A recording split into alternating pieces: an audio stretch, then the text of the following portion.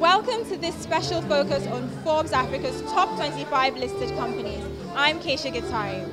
This annual event seeks to highlight the significant development of West African markets over the years. With it, Forbes, a leading business and lifestyle publication, recognizes the achievements of these top companies and power players on West Africa's stock exchanges. It also pays tribute to the overall market leader. But first, let's take a look at the environment in which these companies operate. Africa is home to 29 exchanges representing 38 national capital markets. Aside from these individual national exchanges, there are also two regional stock exchanges, the West African Regional Market or BRVM located in Cote d'Ivoire and the Central African Regional Market or BVMAC in Gabon, both of which service several countries in their respective regions. One of the oldest exchanges on the continent is the Casablanca Stock Exchange of Morocco, founded in 1929. It's also one of Africa's 10 largest exchanges, along with the Johannesburg Stock Exchange and the Nigerian Stock Exchange, which is the first in West Africa. The growth of West African stock markets is significant considering that the NSE was established in 1960 and currently has 223 listed companies. I think Nigeria, the Nigerian Stock Exchange, is the oldest stock exchange in the West African region. Uh, we started in 1960 as the Lagos Stock Exchange, and we actually started operations in 1961. Uh, we helped uh, the Ghana Stock Exchange set up uh, much later on, and in the Francophone countries, um, they initially uh, set out with uh, smaller exchanges, but then they came together uh, to form one uh, exchange across the seven uh, nations. The BVRM, I believe, is the name. And so we've come a long way um, and we continue to evolve. In the lives of exchanges globally, we're probably still young in our evolution. In the 1960s, more established companies started listing as they could comply with government regulations. Currently, the exchange can attract companies to list because of the value proposition it offers.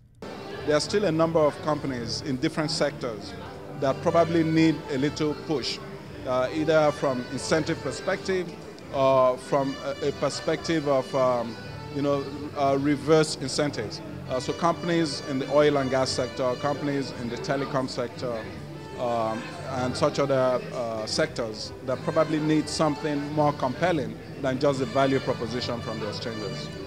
I think we've done very well with attracting foreign investors into the Nigerian markets.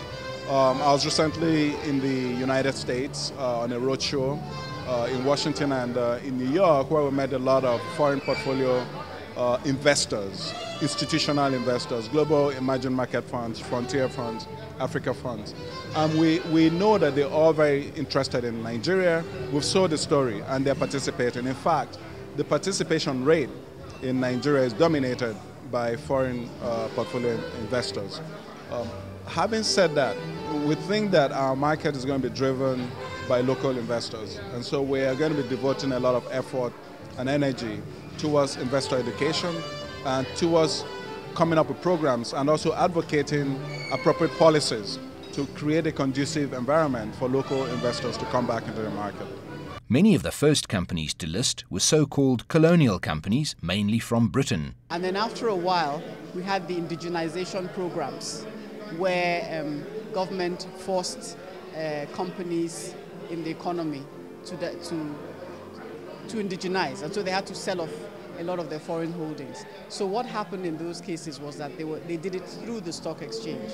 So indigenization was one big push that brought companies to the exchange in the 70s. And then later on in the 80s, you had the privatization exercise of government.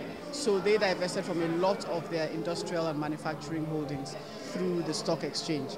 In uh, more recently, you've seen the bank capitalizations in the 90s and 2000s that have brought companies to the exchange. Um, but for the future, um, there'll be changes again. Um, it's nice to see in the, this year, the two listings that we've had have been indigenous companies, one in manufacturing, doing very interesting things. And they, what excited us is that they're all Lagos based. They are based um, uh, in Benin, and they do a lot um, in that part of the country and the south-south And the second one was an indigenous microfinance bank, which is doing a lot, uh, making great strides based in Abuja, but with plans around the country. And we also have a lot of uh, prospects going forward for the big guns of the Nigerian economy. Exploration and production, uh, we're hopefully in the areas of, of telecoms and also agriculture, and the utilities through the privatization of the power sector.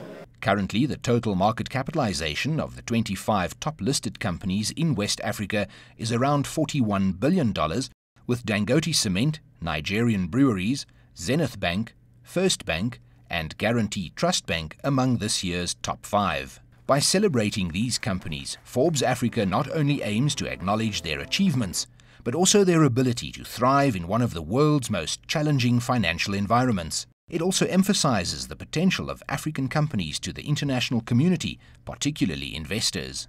I think it's really the right time to, to, to acknowledge, the, to celebrate the West African companies on the Ghanaian, on the Ivorian, on the Nigerian Stock Exchange, because at the end of the day, it's not, the conditions are not great internally and externally. So I believe it's always the, the best time to, to acknowledge and to celebrate the West African company listed in West Africa. But, but again, I mean, it's all about celebrating entrepreneurship.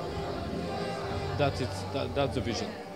There's definitely a place for the Forbes 25 Top Listed Companies Awards in West Africa, providing a lot of advantages and opportunities for companies in this region.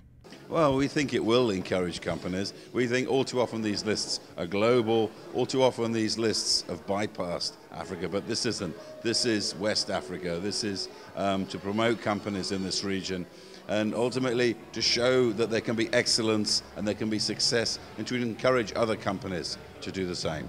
Spearheading this initiative is Rakesh Wahi, founder of the ABN Group, which incorporates CNBC Africa, Forbes Africa, and ABN 360. Uh, we've finished five years in our operating history in Africa now. And one of the reasons that I've started uh, with a lot of these events, particularly ABLAs last year and now celebrating the success of the top 25 companies, is so that we can, uh, we can start celebrating the successes of companies in Africa. Uh, we want people to know about corporate leadership. We want them to know about the companies that are doing well in the economies here and start celebrating these heroes, uh, which are unsung to most part. Africa is known as a continent of doom and gloom. And we want people to know that you know there's a lot of other prosperity that's taking place over here. There are well-run companies that have survived economic uh, calamities and crises. Uh, they have come through the last three years in a manner that is uh, commendable. And so these are the successes we want to talk about, and we want to celebrate these successes in Africa. The ABN Group's strategy is to host more events across sub-Saharan Africa. When you look at a, uh, an award ceremony like the ABLAs, the All Africa Business Leaders Awards, last year we did it in South Africa, which was mainly an African event, but uh, focused and was skewed largely towards Southern African companies. Uh, we took a decision at that time that we will start now having uh, these events in different parts for instance, ABLAS this year is going to have a West African uh, focus, an East African focus, a Southern African focus, with a grand finale of all the regional contests to take place in Johannesburg in October. Similarly, for the top 25 companies, we're going to be doing it across uh, sub-Saharan Africa. We're going to be celebrating successes in different regions. West Africa is just the first part. We believe that there's a lot of activity, economic activity and others that is taking place in countries like Ghana, in Nigeria. And we took this region as the first one to start from, but we're going to go into East Africa next and then into Southern Africa. We're going on a short commercial break. More on Forbes Africa's top 25 listed companies when we return.